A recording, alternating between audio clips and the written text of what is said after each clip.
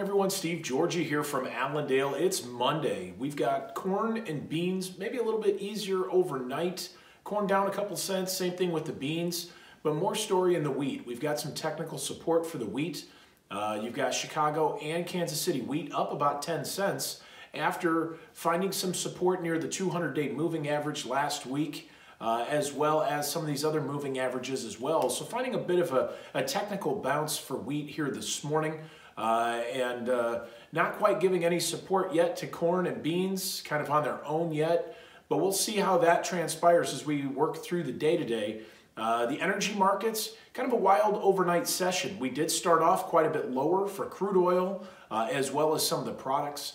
But the big thing is we're waiting for later on this week.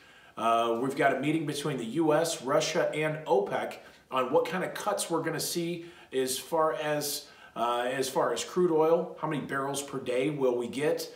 And so a lot of back and forth. So expect to see some very choppy trade out of the energy markets this week as we go through this meeting later on this week and, and as far as what we see uh, from these cuts. So I think the market right now is ex expecting anywhere from 10 to, and I've heard up to 15 million barrels per day, but we'll see what they have to say uh, as we go through that meeting as well. Some of the other markets, the Dow, very, very strong here today, up 700 points right now, finding some strength, finding a recovery, uh, but still very much on edge uh, as we get through these next few weeks. So expect to see a lot of volatility out of those markets uh, as well. But in the grains, still trying to find where support is here for corn, also for beans as we kind of drift back and forth. We had seen some decent export sales last week, so can we see that again this week? We'll have to wait and find out. But right now, very light trade uh, in the grain markets.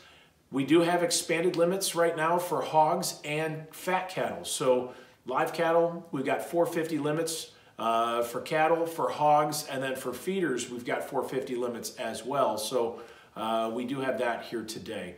But give us a call if you have any questions. We're here to help you guys out. Hope you have a great one out there. Stay safe, and we'll chat with you soon. Take care.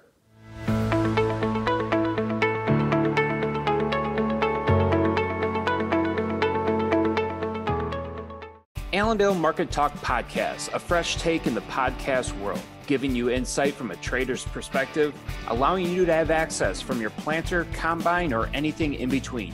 Subscribe to Allendale Market Talk Podcast today.